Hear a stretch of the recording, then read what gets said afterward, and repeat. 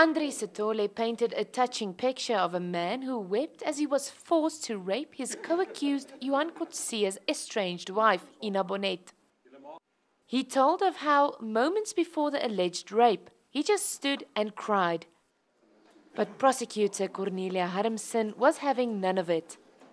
After all, none of this had been mentioned in his evidence in chief. He said he also cried when Johan Kotze allegedly threatened to kill him if he did not have sex with Bonette. And there was more. Now he says he and his other accused, Peter Mutlani and Franz Mpaka, did not do any work on the day of the attack. Previously, he said he had demanded Kotze to pay them for the work done.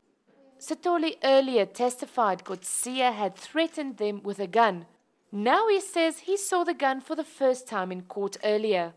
Harmson says it's clear Sithole's latest version of events contradicts his testimony in April.